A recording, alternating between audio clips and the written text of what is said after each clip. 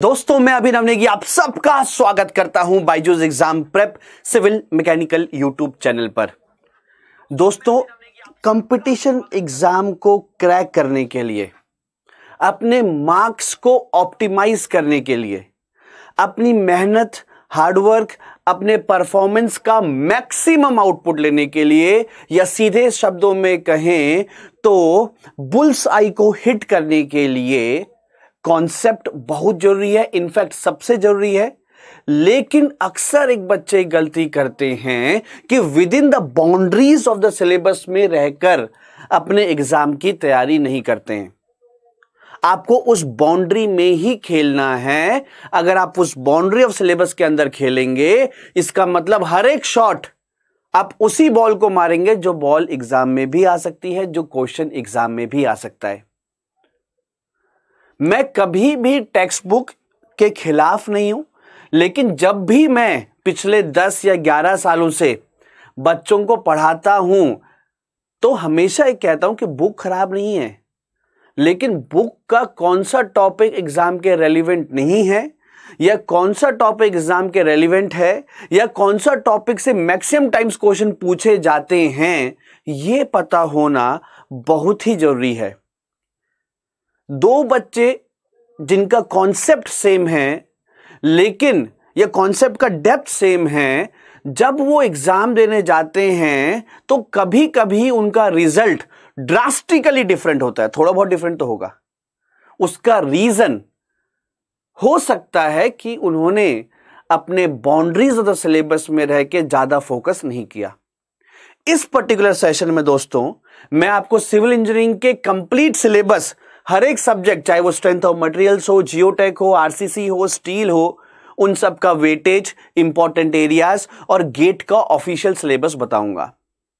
जैसा कि अभी 2024 में जो एग्ज़ाम कंडक्ट करने वाला है आईएससी उसका ऑफिशियल पोर्टल नहीं खुला है और मोर ओवर सिलेबस अक्सर अगले दो आई बॉम्बे ने 2021 में सिलेबस चेंज किया था। लेकिन अक्सर जब भी सिलेबस चेंज होता है तो आने वाले कई साल तक कोई बहुत ज़्यादा चेंजेस नहीं होते। तो कुछ चेंजेस होंगे भी, तभी आपको इस चैनल के माध्यम से बता दिया जाएगा। लेकिन अगर हम उसी साइट पे वापस जाएँ, जो अभी हमारे पास लेटेस्ट ऑफिशियल साइट है, और उसके सिविल इंजीनियरिंग सिलेबस को हम देखें तो इस सिलेबस को डिटेल में देखते हैं। ये सेशन आपके लिए इफ़ेक्टिव हो पाएगा। अगर आप इसको गहराई से समझे, मैं क्या कहना चाहता हूँ। थर्टीन मार्क्स का आपके पास इंजीनियरिंग मैथमेटिक्स आता है। ओके इसके बाद, अगर मैं इंजीनियरिंग मैथमेटिक्स के ऑफिशियल सिलेबस आपको बताऊँ तो आपके पास जो ऑफिशियल सिलेबस है थर्टीन मार्क्स का, ये आपके पास linear algebra calculus differential equation partial differential equation probability and statics और न्यूमेरिकल मेथड्स है। अब इसमें और डिटेल में आपको मैं बताऊँ कि आपके पास इस थर्टीन मार्क्स में से जहाँ से मैक्सिमम क्वेश्चन आ सकते हैं वो टॉपिक आपके पास प्रोबेबिलिटी और आपके पास मैट्रिक्स वाला लीनियर एल्जेब्रा में मैट्रिक्स के आप, आ, आ, आपके पास मैक्सिमम क्वेश्चन आते हैं। आइगन वैल्यूज़ आइगन वेक्टर और प्रोबेबिलिटी मतलब तेरह मार्क्स में से आप मान के चलिए कि अगर कोई बहुत बड़ा चमत्कार नहीं हो जाता है कोई बहुत बड़ा उलटफेर नहीं हो जाता है तो छह या सात मार्क्स आपके पास मैट्रिक्स और प्रोबेबिलिटी से रहेंगे। अब जो ये बीच वाला पार्ट है कैलकुलस या डिफरेंशियल इक्वेशन या पार्शियल डिफरेंशियल इक्वेशंस इसमें से आप एक या दो मार्क्स एक्सपेक्ट कर सकते हैं। आपके पास limit continuity differentiability mean value theorem local maxima local minima Taylor series ये सब क्वेश्चंस हैं। लेकिन अगर मैं बात करूँ सिविल इंजीनियरिंग के लिए पर्टिकुलरली तो फोर फोरियर सीरीज़ और टेलर सीरीज़ से क्वेश्चंस आ सकते हैं आपके पास इलेक्ट्रिकल इलेक्ट्रॉनिक्स में। लेकिन सिविल इंजीनियरिंग में उतने क्वेश्चन यहाँ पर नहीं देखे जाते। मैं ये नहीं कह रहा हूँ कि क्वेश्चन नहीं आया है, पर अमूमन उतने क्वेश्चन यहाँ पर नहीं आते हैं। तो टोटल थर्टीन मार्क्स का आएगा। और यूजुअली जो इंजीनियरिंग मैथमेटिक्स का सिविल इंजीनियरिंग के बच्चों के लिए पेपर होता है, वो इजी होता है और ये बात लागू थी अप टू 2022 2022 तक अगर हम अलग अलग ब्रांचेस से इंजीनियरिंग मैथमेटिक्स का पेपर कंपेयर करें तो हमेशा ऐसा देखा जाता था कि सिविल इंजीनियरिंग का पेपर सबसे इजी होता है मैथमेटिक्स का। लेकिन 2023 में इस साल ड्रास्टिकली पेपर डिफरेंट हो गया था। और मैथमेटिक्स का पेपर काफ़ी टफ आया और जो बहुत सारे कारण थे, उनमें से एक कारण यह भी था कि आपके पास कट ऑफ़ कम चली गई और कम नंबर पे भी बच्चों की अच्छी रैंक आने लग गई।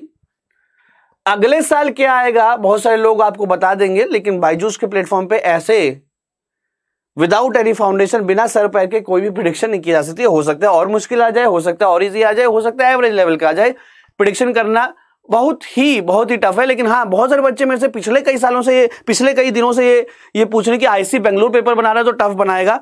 पिछली बार भी जब आईसी बेंगलुरु ने बनाया था, ऐसी अड़कलें लगाई गई थी, पर पेपर सिविल इंजीनियरिंग का ईजी था। मैं मॉडरेट भी नहीं कह रहा हूँ। तो आईसी बेंगलोर कंडक्टिंग अथॉरिटी है। आईआईटी कानपुर 2023 में कंडक्टिंग अथॉरिटी थी।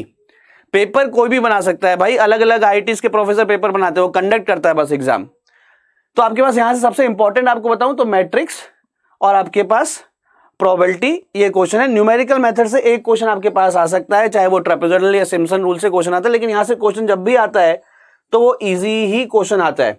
देखो प्रोबेबिलिटी में मैं कुछ इजी हार्ड नहीं बोलता हूँ। क्योंकि प्रोबेबिलिटी में अक्सर ऐसा होता है कि जो क्वेश्चन आपको बहुत ईजी लग रहा होता है, वो हार्डेस्ट ऑफ़ द क्वेश्चन होता है, और जिसमें बहुत सारे डाटा या बहुत लंबा लंबा क्वेश्चन लगाता है, कभी बार कई बार वो बहुत ईजी क्वेश्चन भी हो जाता है। ओके इसके बाद थर्टीन मार्क्स के बाद हम आगे आपके पास चलते हैं स्ट्रक्चरल इंजीनियरिंग पर। तो स्ट्रक्चरल इंजीनियरिंग के अगर मैं आपके पास वेटेज बताऊँ तो आपके पास लगभग लगभग फोर टू सिक्स मार्क्स का स्ट्रक्चरल इंजीनियरिंग आ जाता है। इंजीनियरिंग सर्विसेज़ में स्ट्रक्चर एक बहुत बड़े अमाउंट में आता है, लेकिन गेट में आपके पास चार से छः मार्क्स का आएगा।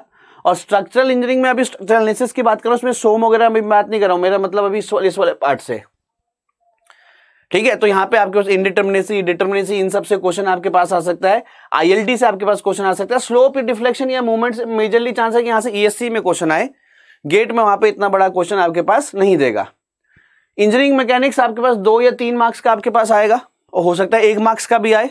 और आपके पास इंजीनियरिंग मैकेनिक्स का सिलेबस ये इंजीनियरिंग मैकेनिक्स में अगर मैं पर्टिकुलरली गेट में कहूँ तो फ्री वाइब्रेशन या अनडेप फोर्स से क्वेश्चन आ सकता है। पर ठीक है, ज़्यादा चांस है कि आपके पास वो इक्लोमियम या फ्री बॉडी डायग्राम या अन्य किसी पार्ट से क्वेश्चन दे दे। ठीक है? तो ये इंजीनियरिंग मैकेनिक्स का आपके पास है स्ट्रक्चर एनालिसिस का है। स्ट्रक्चर एनालिसिस की मैं बात करूँ तो मैंने आपको पहले बोला फोर टू सिक्स मार्क्स ठीक है? इंजीनियरिंग मैकेनिक्स आपके पास वन टू थ्री मार्क्स और सॉलिड मैकेनिक्स वाला पार्ट जिसको हम स्ट्रेंथ ऑफ़ मटेरियल्स के नाम से भी जानते हैं, वहाँ से आपके पास फोर टू सिक्स मार्क्स का, इसका स्ट्रेंथ ऑफ़ मटेरियल का वेटेज पिछले तीन चार साल में कम हो गया है। अब सुनना ध्यान से आप स्ट्रेंथ हाईलाइट भी चलेगा क्या? सॉलिड मैकेनिक्स में स्ट्रेंथ ऑफ़ मटेरियल में चाहे फोर टू सिक्स मार्क्स का ही है, लेकिन उस बात की, उस सब्जेक्ट की इंपॉर्टेंस आप उसके मार्क्स से नहीं लगा जा सकते क्योंकि स्ट्रक्चर पूरा सोम का ही एप्लीकेशन पार्ट है। RCC steel in fact soil के शियर चैप्टर में भी सॉलिड मैकेनिक्स यूज़ होगा। तो सॉलिड मैकेनिक्स मतलब भाई वो सिविल इंजीनियरिंग का बेसिक है। वहाँ से ही आपके मतलब सिविल इंजीनियरिंग की चाबी है वो सिविल इंजीनियरिंग की फिजिक्स है सॉलिड मैकेनिक्स तो वो चाहे ज़ीरो मार्क्स का भी हो, तब भी वो one of the most important subjects है। स्ट्रेंथ ऑफ़ मटेरियल्स में सॉलिड मैकेनिक्स में जो फोर टू सिक्स मार्क्स का आता है, वहाँ पे पिछले तीन या चार साल से कोई भी साल ऐसा नहीं हुआ है, जहाँ पे आपके पास ट्रांसफॉर्मेशन ऑफ़ स्ट्रेस का क्वेश्चन ना आया हो। जहाँ पर आपके पास ट्रांसफॉर्मेशन ऑफ़ स्ट्रेस का क्वेश्चन ना आया हो, ऐसा कोई भी साल नहीं हुआ। ठीक है? ऑफलाइन में जब हम थे 2019 से पहले तो इतना एनालिसिस एग्ज़ाम का नहीं होता था। ऑनलाइन समय में इतना एनालिसिस होने लग गया। तो हर एक क्वेश्चन अब तो पता रहता है कि ट्रांसफॉर्मेशन स्ट्रेस का हर साल आ रहा है। एवरी ईयर एवरी सेट में क्वेश्चन है चाहे वो मोर सर्कल का हो, चाहे वो एनालिटिकल मेथड्स पे भी हो, हर साल क्वेश्चन आपके पास आ रहा है। S F D B M D again important topic है, लेकिन इससे डायरेक्टली क्वेश्चन पिछले दो या तीन सालों में नहीं आया है। इसके बाद ये थिन सिलेंडर का भी क्वेश्चन आने लग गया है। थिन सिलेंडर का भी आपके पास क्वेश्चन आने लग गया है। कंबाइंड स्ट्रेस डायरेक्ट स्ट्रेस पे क्वेश्चन आ सकता है। ठीक है? इसके बाद कॉलम पे पिछले दो या तीन साल से क्वेश्चन नहीं आया लेकिन इसका मतलब ये नहीं है कि हम नहीं पढ़ेंगे कि भाई कॉलम आपके पास चार, पाँच घंटे में पूरा कंप्लीट कर सकते हैं। शेयर टेस्ट शेयर सेंटर से कोच देखो, अब एक और चीज़ समझो। सिलेबस से अकेले कभी भी आप ये नहीं समझ पाएँगे, या नहीं जान पाएँगे, कि क्वेश्चन कहाँ तक पूछेगा। भाई शेयर सेंटर लिख के दे दिया। अब शेयर सेंटर शेयर सेंटर निकालने के लिए भी आ जाएगा क्या? या शेयर सेंटर उन्हीं का आएगा, जो कुछ रेगुलर बॉडीज होती है, जहाँ पे दो एक्सेस ऑफ़ सिमेट्री होती है और एक्सेस ऑफ़ सिमेट्री के जंक्शन को शेयर सेंटर कहते हैं। जैसे हमारे पास सपोज़ एक रेक्टेंगुलर सेक्शन है तो शेयर सेंटर हमेशा एक्सेस सिमेट्री पे लाई करेगा, ये एक्सेस सिमेट्री इस पे लाई करेगा शेयर सेंटर एक्सेस सिमेट्री पे लाई करेगा, दोनों एक्सेस सिमेट्री है तो इसका जंक्शन शेयर सेंटर हो गया। तो यहाँ पे तो हमने इजीली निकाल लिया। लेकिन चैनल सेक्शन पे आपके पास शेयर सेंटर एक्सियो सिमेट्री पे लाई करेगा, पर दो एक्सियो सिमेट्री यहाँ पे नहीं है तो यहाँ करेगा यहाँ करेगा यहाँ करेगा, वो डिस्टेंस क्या है? चलो ये भी एक स्टैंडर्ड है, बच्चा याद कर लेता है, पर वो कहाँ तक शेयर सेंटर में पूछ सकता है, इसका हमें अनुमान सिर्फ़ सिलेबस देख के नहीं लगाया जा सकता। तो पिछले ईयर के क्वेश्चन देख के हम अनुमान लगाते हैं कि शेयर सेंटर से बहुत डायरेक्ट क्वेश्चन नहीं पूछेगा तो डायरेक्ट वो थम रूल्स पे क्वेश्चन पूछ लेगा या कुछ रेगुलर बॉडीज के पूछ लेगा, बहुत ऐसा टिपिकल बॉडी का शेयर सेंटर नहीं पूछेगा। ओके? तो ये सब स्ट्रक्चर एनालिसिस का ही पार्ट है। जो मैं आपको कह रहा हूँ, सोम लगभग पाँच मार्क्स लगा लो, दो मार्क्स लगा लो और यहाँ पे आपके पास वापस से पाँच मार्क्स लगा लो। तो बारह से चौदह मार्क्स का आपके पास स्ट्रक्चर एनालिसिस आएगा। इसमें सोम इंजीनियरिंग मैकेनिक्स ये सब कुछ है। इसके बाद आगे चलते हैं। सीपीएम पार्ट पर आपके पास क्वेश्चन हो सकता है ज़ीरो मार्क्स का है, हो सकता है दो मार्क्स का है। और यहाँ पे मैक्सिमम चांस है नाइनटी परसेंट की क्वेश्चन पर्ट सीपीएम से आएगा। पर्ट या सीपीएम से फ्लोट का क्वेश्चन आ जाएगा। बहुत रेयरली है कि इसके अलावा कोई नेटवर्क डायग्राम का जो आपके पास एरर्स होते हैं, या डैंगलिंग एरर या लूपिंग एरर वहाँ से कोई क्वेश्चन आए। ठीक है तो पर्ट सीपीएम का वो न्यूमेरिकल टाइप का ही क्वेश्चन आएगा। Type of construction projects planning आपके पास यहाँ से क्वेश्चन गेट में आए, बहुत ही कम चांस है। और मैं अगर मटेरियल्स की बात करूँ तो मटेरियल से भी क्वेश्चन हो, ज़्यादा से ज़्यादा एक क्वेश्चन कोई सीमेंट या ब्रिक वगैरह पर आ सकता है। ठीक है? आरसीसी की बात करूँ तो वर्किंग स्ट्रेस ऑल लिखा है, लेकिन लिमिट स्टेट पर ही अमूमन क्वेश्चन पूछे गए हैं पिछले कुछ सालों में। और आरसीसी की अगर मैं बात करूँ तो यहाँ पर आपके पास फोर टू सेवन मार्क्स का आ सकता है, जहाँ पर जिनमें से आपके पास एक या दो क्वेश्चन स्पेशली वन मार्क्स का question IS code recommendation minimum grade of concrete in sea water या ऐसे कुछ रिकमेंडेशन पर आपके पास क्वेश्चन आ सकता है। आरसीसी के मैं इंपॉर्टेंट टॉपिक बात करूँ तो आपके पास ये जो neutral axis calculate the actual depth of neutral axis फिर क्रिटिकल डेप्थ फिर बैलेंस फिर एमओआर वहाँ से कुछ क्वेश्चन आ सकते हैं। बीम का एमओआर के ऊपर। ठीक है शेयर इन्फोर्समेंट पे क्वेश्चन आ सकता है या प्री स्ट्रेस मतलब आपके पास पिचासी परसेंट चांस है कि क्वेश्चन आपके पास इन तीन टॉपिक में से आए। वापस से मैं बोल देता हूँ बीम का मूवमेंट ऑफ़ रेजिस्टेंस जो निकालते हैं एलएसएम मेथड से। ठीक है shear reinforcement vertical stress bent bars incline bars या प्री स्ट्रेस से। तो आरसीसी आपके पास फोर टू सेवन मार्क्स का आएगा। आगे मैं चलता हूँ। स्टील स्ट्रक्चर्स एक बहुत बड़ा सब्जेक्ट है। इंजीनियरिंग सर्विसेज़ के लिए बहुत इंपॉर्टेंट सब्जेक्ट है। लेकिन गेट के पर्टिकुलर एग्ज़ाम में जो स्टील स्ट्रक्चर से क्वेश्चन आने के चांसेस हैं, वो आपके पास मैक्सिमम टू या हो सकता है कि तीन क्वेश्चन भी कभी कभी आ जाएँ। थ्री टू फोर मार्क्स का क्वेश्चन यहाँ से एक्सपेक्ट किया जाता है। पिछले दो तीन साल से लगातार बच्चे अटकले लगा रहे थे कि भाई सिर्फ़ प्लास्टिक ही आता है, सिर्फ़ प्लास्टिक ही आता है। ऐसा सिर्फ़ प्लास्टिक नहीं आता है। प्लास्टिक एनालिसिस इसके लिए इंपॉर्टेंट है। सबसे इंपॉर्टेंट है। लेकिन 2013 से 2017-18 तक आप जाओगे ना तो प्लास्टिक का एक क्वेश्चन तो आएगा ही आएगा। या तो स्टील से दो क्वेश्चन आएँगे या एक क्वेश्चन आएगा। एक क्वेश्चन आएगा तो प्लास्टिक आएगा ही आएगा, दो क्वेश्चन आएँगे तब भी प्लास्टिक आएगा ही आएगा। लेकिन पिछले दो तीन साल से प्लास्टिक की अभी भी प्रोबेबिलिटी ज़्यादा है, लेकिन कनेक्शंस और बाकी टॉपिक से भी क्वेश्चन आते हैं। लेकिन हाँ यदि मैं ऐसे बात करूँ कि वो कौन सा सब्जेक्ट है जिसमें सबसे ज़्यादा सिलेबस के बाद सबसे कम मार्क्स आएगा तो स्टील उनमें से एक पर्टिकुलर एक चीज़ है जहाँ से जितना उस सब्जेक्ट का वेटेज या जितना उस सब्जेक्ट का लेंथ है, उसके हिसाब से एग्ज़ाम में मार्क्स कमाता है। लेकिन ईएससी e के लिए आपके पास स्टील एक बहुत ही इंपॉर्टेंट टॉपिक बन जाता है। दोस्तों वीडियो इसको लाइक और शेयर करते रहना ताकि मैक्सिमम बच्चों तक हम ये पूरी एनालिसिस पहुँचा पाए। इसके बाद आगे चलते हैं जियोटेक्निकल इंजीनियरिंग पर, ठीक है? जियोटेक्निकल इंजीनियरिंग सिविल इंजीनियरिंग का one of the highest marks topic नहीं है, ये हाईएस्ट ही है।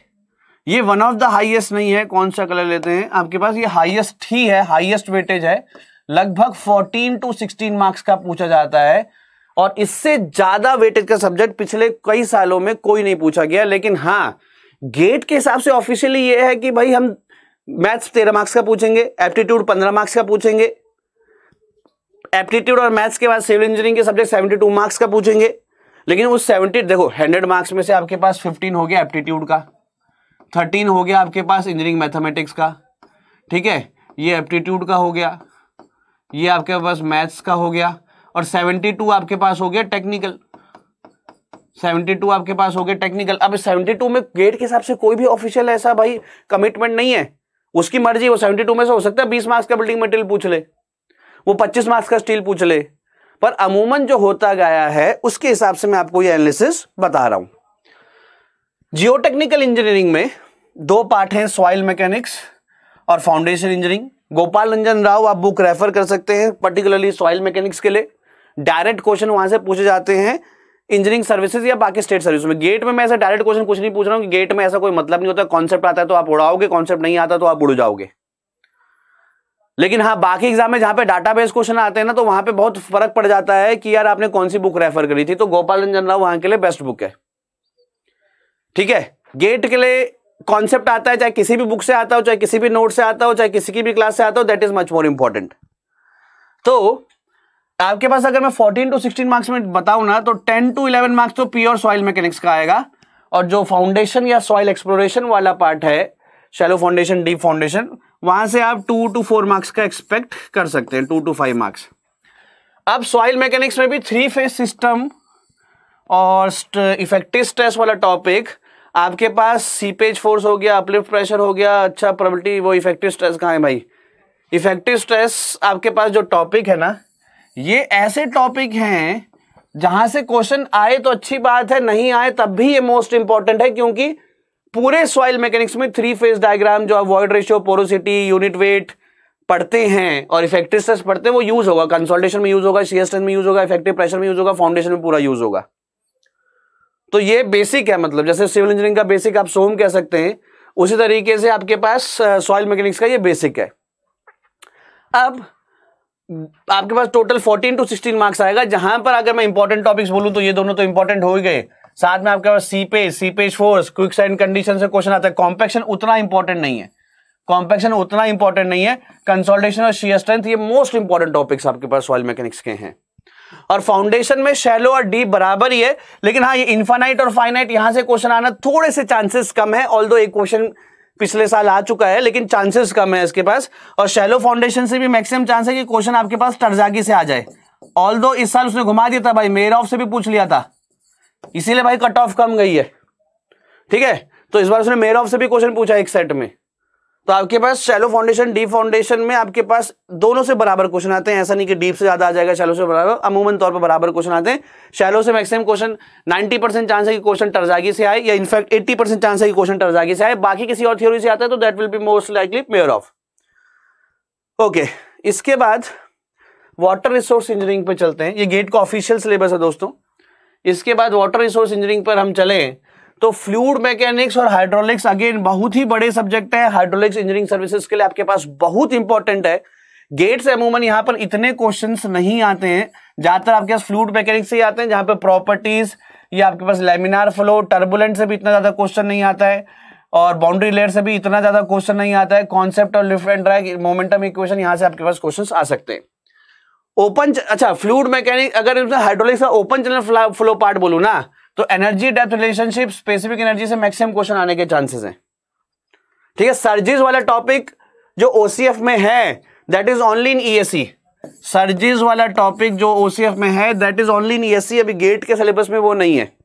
और प्लूरल फ्लूड मैकेनिक्स अगर आठ नौ मार्क्स का आता है तो इसमें फोर टू फाइव मार्क्स का फ्लूड मैकेनिक्स आएगा एफ़ और थ्री टू फोर मार्क्स का आपके पास ओपन चैनल फ्लो आ जाएगा। और फ्लूड मैकेनिक्स पढ़ने में अगर आपको, या ओपन चैनल फ्लो पढ़ने में अगर आपको एक्स समय लगता है तो फ्लूड मैकेनिक्स पढ़ने में आपको कम से कम फाइव एक्स समय लगेगा। तो पाँच गुना समय पर लगा के फ्लूड मैकेनिक्स से उतने ही क्वेश्चन आएँगे तीन या चार मार्क्स के, जितने में आपके पास ओसीएफ से आ जाएँगे। हरिचंद्र कैसे हैं?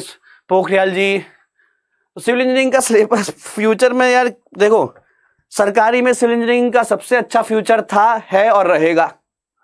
ये लो मैं साइन करके दे दे रहा हूँ ये चीज़ तो। गवर्नमेंट में सिविल इंजीनियरिंग का सबसे अच्छा फ्यूचर था, आज की डेट में है और कल की डेट में भी रहेगा एटलीस्ट 2040-50 तक तो। कितना प्राइवेटाइजेशन हो जाए या इतना प्राइवेटाइजेशन तो हो नहीं रहा है जितना आप लोगों को लग रहा है, खैर। ठीक है? तो अच्छा एक और बात। आपको जिनको भी लगता है ना, यार, हम पीएसयू में चले गए और प्राइवेटाइजेशन हो गए तो इतना सब मेहनत करने का क्या फ़ायदा है? भाई, मेरा खुद का भाई एयरपोर्ट अथॉरिटी ऑफ़ इंडिया में है और बहुत सारे स्टूडेंट्स अन्य पीएसयू में हैं। यदि कभी भी किसी भी पीएसयू का प्राइवेटाइजेशन होता है तो हमेशा उसके एम्प्लॉयज़ को ऑप्शन होता है कि आप गवर्नमेंट के किसी और संस्था पे चल जाए, ऐसे बाहर नहीं भेज देते हैं कि चलो निकलो। ठीक है? इरिगेशन अगेन आपके पास टू टू थ्री मार्क्स का आएगा। छोटा सा सब्जेक्ट है, छोटा सा सब्जेक्ट है और छोटे से ही उसके मार्क्स भी हैं। मतलब ऐसा नहीं कि बहुत बड़ा बढ़ के आपके पास बहुत कम आए। और डेल्टा ड्यूटी से आपके पास मैक्सिमम क्वेश्चन आने के चांस है। लाइन लाइन से कैनेडी या लेसी थ्योरी पे को क्वेश्चन पूछ सकता है। ठीक है, वीडियो को लाइक और शेयर करते रहना सबके सब। इसके बाद हाइड्रोलॉजी में देखो ना हाइड्रोलॉजी में जो सिलेबस अगर मैं आपको लिख के दिखाऊँ तो हाइड्रोलॉजी में आपके पास सिलेबस ना मैं बच्चों को ऐसा बताता हूँ कि पूरे हाइड्रोलॉजी का जो सिलेबस है वो ये है भाई। P इज़ इक्वल टू जितनी बारिश हुई प्रिसिपिटेशन या तो वो जो बारिश हुई इवेपोरेट होगा, या तो इवेपोरेट होगा या ज़मीन के नीचे जाएगा या ज़मीन के ऊपर बहेगा नेग्लेक्टिंग लॉसेस जितनी बारिश हुई प्रिसिपिटेशन या तो इवेपोरेट होगा या इन्फिल्ट्रेट होगा रन ऑफ़ होगा। अब मेरे पास ना जो आई और आर है आई और आर में आपके पास आ गया phi index W index Horton's curve और रन ऑफ़ में आ गया हाइड्रोग्राफ 95 परसेंट क्वेश्चन यहाँ से आएगा प्रिसिपिटेशन इवेपोरेशन से फैक्टर इफ़ेक्ट इवेपोरेशन या प्रिसिपिटेशन रेन गोज मेजर तो missing rainfall data number of rain gauge वहाँ से आने के क्वेश्चन दस दस परसेंट है। तो इन दोनों से नब्बे परसेंट क्वेश्चन आता है। गेट में इंजीनियरिंग सर्विसेज़ में थोड़ा सा इंजीनियरिंग सर्विस में भी ज़्यादा क्वेश्चन आई और आर से आएगा लेकिन पीई e से भी वहाँ पे डिसेंट नंबर क्वेश्चन आता है लेकिन आपको ये मान के बहुत हैरानी होगी कि पिछले दो सालों में इंजीनियरिंग सर्विसेज़ में हाइड्रोलॉजी लगभग ना के बराबर आ रहा है। गेट में फिर भी दो तीन क्वेश्चन आ जाएँगे। हाइड्रोलॉजी पिछले कुछ सा, दो सालों में इंजीनियरिंग सर्विसेज़ के प्रिलिम्स एग्ज़ाम में मेंस में आ रहा है। प्रिलिम्स एग्ज़ाम मेंस में आ रहा है बीस पच्चीस तीस मार्क्स का आ रहा है। प्रिलिम्स एग्ज़ाम में लगभग ना के बराबर आ रहा है। इसके बाद सिविल इंजीनियरिंग का हाईएस्ट मतलब सेकंड हाईएस्ट वेटेज सब्जेक्ट की बात करूँ एनवायरमेंटल इंजीनियरिंग तो एनवायरमेंटल इंजीनियरिंग अगेन आपके पास लगभग लगभग थर्टीन टू फोर्टीन मार्क्स के आपके पास आता है।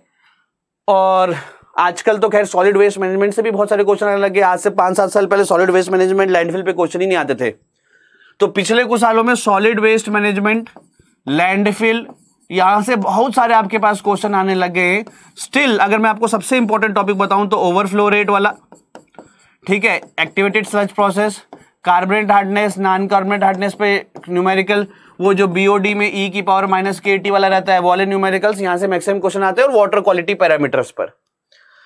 ठीक है एयर पॉल्यूशन पर अगर मैं कहूँ तो उतने क्वेश्चन नहीं आते जितने आने चाहिए। सॉलिड वेस्ट मैनेजमेंट पे भी क्वेश्चन पहले एकदम ही नहीं लाते थे, अब तो चलो फिर भी एक दो क्वेश्चन सॉलिड वेस्ट मैनेजमेंट पे आने लग गए हैं। ठीक है? इसके बाद ट्रांसपोर्टेशन इंजीनियरिंग की बात करूँ तो अगर मैं, देखो, क्या हुआ है ना सिविल इंजीनियरिंग में कुछ साल पहले railway airport building material subjects add हुए। और जब भी कोई सब्जेक्ट ऐड होगा तो एक बहुत, एक बात बहुत लॉजिकल है, एक बात बहुत लाजमी है कि सब्जेक्ट्स का वेटेज या मार्क्स धीरे धीरे करके थोड़ा सा कम हो जाएगा, क्योंकि नंबर ऑफ़ सब्जेक्ट्स बढ़ गए। रेलवे बढ़ गया बिल्डिंग मटेरियल बढ़ गया एयर एयरपोर्ट बढ़ गया इंजीनियरिंग मैकेनिक्स बढ़ गया ऑल दो आते वो ज़ीरो मार्क्स के या एक मार्क्स के या दो मार्क्स के।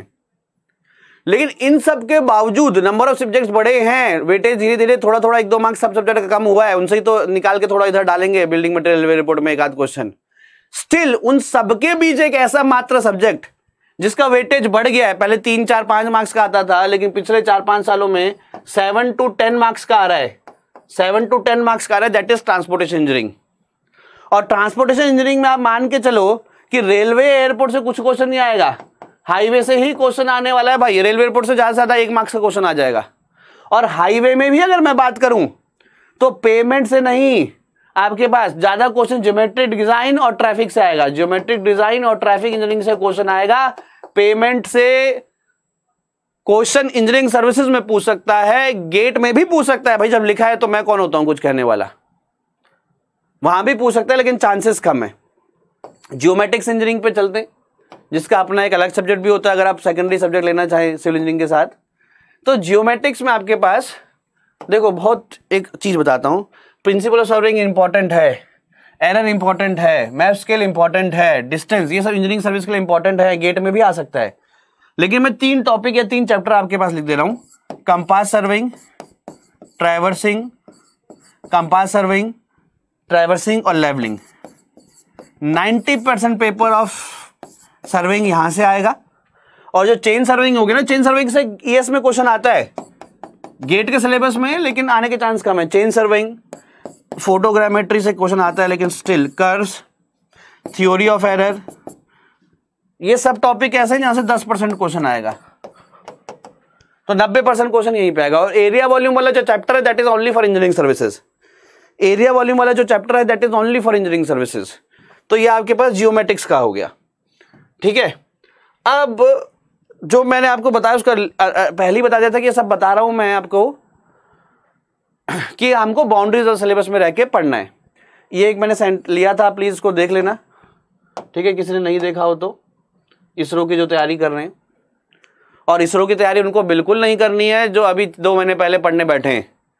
जो अच्छे से 2023 दिए थे गेट का, लेकिन किसी कारणवश कट ऑफ़ या उनका टारगेट को ऊपर नहीं कर पाए, साठ सत्तर परसेंट तैयारी है, वो इसरो कर सकते हैं। लेकिन जो अभी अभी बालक पढ़ने लगे हैं या बालिकाएँ पढ़ने लगी हैं, उनको पहले पूरा पढ़ लो, फिर एग्ज़ाम देना जो भी रास्ते में आए। ठीक है, ये कुछ सेशंस है जो मेरे अभी आने वाले हैं। आप ये सेशंस मैंने अभी अपलोड हो गया आज, आप देख लेना। सिविल इंजीनियरिंग के कुछ अप्रोक्सीमेशंस ठीक है? स्कॉलरशिप टेस्ट आपके पास है फोर्टीन मई को आप इसको कर सकते हैं और वर्कशॉप मेरा आपके पास है सिक्सटीन मई ट्यूसडे को सेवन थर्टी पीएम पर। टेलीग्राम पे सिविल बाय अभिनव सर है। ओके अगर मैं अब आपको हर एक सब्जेक्ट का ना एक एक करके बताता हूँ। रुक जा भाई।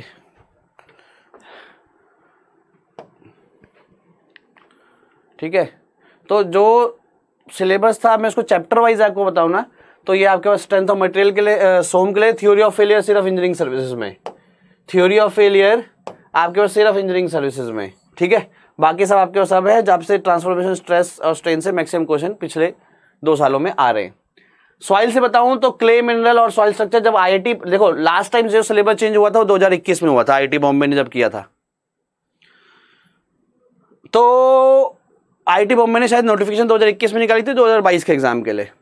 उसकी ये ओनली एसी है, बाकी सारे टॉपिक्स आपके पास गेट में भी है और सॉइल मैकेनिक्स शायद एकमात्र ऐसा सब्जेक्ट है जहाँ पे एक टॉपिक है डी फाउंडेशन में lateral capacity of pile lateral capacity of pile जो ओनली गेट में ठीक है, एक ऐसा भी टॉपिक है जो गेट में है, पर एसी में नहीं है। ठीक है तो यहाँ के important topics origin properties soil compaction इतना इंपॉर्टेंट टॉपिक नहीं effective stress permeability seepage vertical important नहीं है सेटलमेंट और ये ये इंपॉर्टेंट टॉपिक्स आपके पास हैं। इसके बाद बिल्डिंग मटेरियल जो इंजीनियरिंग सर्विस के ऑब्जेक्टिव के लिए बहुत इंपॉर्टेंट है, बहुत सारे क्वेश्चन आते हैं। लेकिन गेट में सिर्फ़ एक या दो मार्क्स का आएगा और वहाँ से भी सीमेंट के आने के chance maximum timber is only in ESE bricks is only in ESE ये सारी चीज़ें आपके पास मैंने उस तरीके से भी लिखी हैं कि आप गेट और ई के सिलेबस को डिस्टिंग्विश कर पाओ।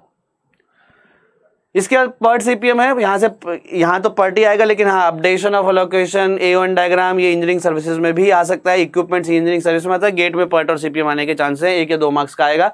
ये इरीगेशन का आपके पास है वाटर लॉगिंग और ये ये वाला चीज़ सिर्फ़ ईएससी में आएगा, ठीक है डाइवर्जन हेडवर्क सिर्फ़ ईएससी में आएगा। गेट में delta duty Kennedy Lacey theory या वो डी वाला, वो विल्टिंग पॉइंट वाला फ़ील्ड कैपेसिटी वाला न्यूमेरिकल वहाँ से क्वेश्चन आने के चांसेस हैं। सर्विंग में थ्यूडलाइट सिर्फ़ ईएससी में है एरिया वॉल्यूम सिर्फ़ ईएससी में, बाकी सबसे आएगा, लेकिन फिर भी कंपास से ट्राइवर से और लेवलिंग से मैक्सिमम क्वेश्चन आएँगे भाई। ठीक है? वीडियो को लाइक और शेयर करते रहना सबके सब। इसके बाद रेलवे ऑल इतना इंपॉर्टेंट नहीं है सिलेबस आपके सामने लिखा हुआ है।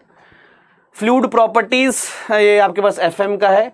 यहाँ से fluid properties hydrostatic force on plane और curve surfaces fluid kinematics dynamics relatively उतना इंपॉर्टेंट नहीं है जितना काइनेमेटिक्स है बाउंड्री लेयर गेट में उतना इंपॉर्टेंट नहीं है drag and lift concept turbulent भी गेट के लिए उतना पर्टिकुलर इंपॉर्टेंट नहीं है। और ये आपके पास हाइड्रोलिक मशीन है जो ऑल दो क्वेश्चन हो सकता है, एक भी ना है ओके प्रदीप, उसके लिए कोई और सेशन ले लेंगे यार। हाई देखो ट्रांसपोर्टेशन में हाईवे आने के चांस ही मैक्सिमम है। उसमें से भी ये दो टॉपिक और इस दो टॉपिक में भी साइड डिस्टेंस चाहे एसएसडी हो ओ एस डी हो एस हो या सुपर एलिवेशन सेटबैक डिस्टेंस से बहुत पिछले सालों से क्वेश्चन नहीं आए हैं। और ट्रैफ़िक से आपके पास ग्रीन शील्ड वाला V F into K J by four वाला चीज़ या वेबस्टर मेथड से न्यूमेरिकल आपके पास आ सकता है या रोटरी से भी आ सकता है। हाईवे मटेरियल यहाँ से इतना इंपॉर्टेंट नहीं है गेट के लिए। आरसीसी में लिमिट स्टेट और आपके स्लैब्स उतना इंपॉर्ट मतलब गेट के लिए इंपॉर्टेंट नहीं है कॉलम फाउंडेशन प्रीस्टस इंपॉर्टेंट है, ये इंपॉर्टेंट और शेयर इन तीन टॉपिक से मैक्सिमम क्वेश्चन आने के चांस है। और जो फाउंडेशन है या स्टेयर केस है, ये सारी चीज़ें सिर्फ़ आपके पास इंजीनियरिंग सर्विसेज़ में आएँगी। वाटर टैंक आपके पास है, यहाँ पे आपको अनक्रैक सेक्शन बनाना होता है इंजीनियरिंग सर्विस में रिटर्निंग वॉल इंजीनियरिंग सर्विस में स्टेयर के सिर्फ़ इंजीनियरिंग सर्विसेज़ में डिज़ाइन ऑफ़ मैसेजिंग स्ट्रक्चर सिर्फ़ आपके पास इंजीनियरिंग सर्विसेज़ में। ठीक है मैकेनिक्स में ऐसा तो ऐसा ज़रूरी नहीं है ना कि हर एक टीचर आके ज़रूरी ज़बरदस्ती किसी सब्जेक्ट का इंपॉर्टेंट या नॉट इंपॉर्टेंट बताए। है ना? अब इसमें सब ऑलमोस्ट इक्वली इंपॉर्टेंट है सारे टॉपिक्स ठीक है? आपके पास एनवायरनमेंट uh, है। एनवायरनमेंट में ऑलरेडी बोल चुका हूँ कि overflow rate A S P carbonate hardness non carbonate hardness BOD वाला ई e की पावर माइनस के टी वाला वाटर के quality parameters most important topics हैं। स्ट्रक्चर में देखो आपके पास अब मैं जाऊँ मूवमेंट डिस्ट्रीब्यूशन स्लोप डिफ्लेक्शन पे तो मेजरली आपके पास सब्जेक्टिव क्वेश्चन ही बनता है। तो आई एल डी इनडिटर्मिनेसी इनसे क्वेश्चन आने के चांस आपके स्ट्रक्चर में ज़्यादा हैं। सिमिलरली सर्जिस मैंने आपको पहले ही बताया, सिर्फ़ इंजीनियरिंग सर्विस में गेट में एनर्जी डेथ रिलेशनशिप या आपके पास ग्रेजुअली वेरिड फ्लो भी इतना नहीं आएगा रैपिडली भी नहीं यूनिफॉर्म फ्लो या इन दोनों से आने के चांस हमारे पास मैक्सिमम होते हैं। उम्मीद करता हूँ दोस्तों सेशन आपको पसंद आया होगा। स्टिल कोई डाउट है तो please let me know on the comment section मैं आपका रिप्लाई वहाँ पे करूँगा। रात को जब भी मैं सोता हूँ, उससे पहले अपने यू रिसेंट वीडियो वीडियोज़ के देखता रहता हूँ। किसी को कोई भी डाउट होता है तो वहाँ पे मैं रिप्लाई करता हूँ बहुत सारे बच्चों से मेरी वहाँ पर चैट होती भी रहती है। सिविल बाय अभिनव सर पर आप मेरे को ज्वाइन कर सकते हैं टेलीग्राम ग्रुप पर। ये मेरे कुछ अपकमिंग ये सेशन तो हो गया है, बाकी वो मेरे अपकमिंग सेशंस थे। स्कॉलरशिप टेस्ट आपके पास है फोर्टीन मे को, और वर्कशॉप में लेने वाला हूँ फ्री वर्कशॉप इसको रजिस्टर कर दीजिएगा ट्यूसडे को सेवन थर्टी पीएम पर। ठीक है Telegram civil by Abhinav sir पर, आप मेरे को ज्वाइन भी कर सकते हैं।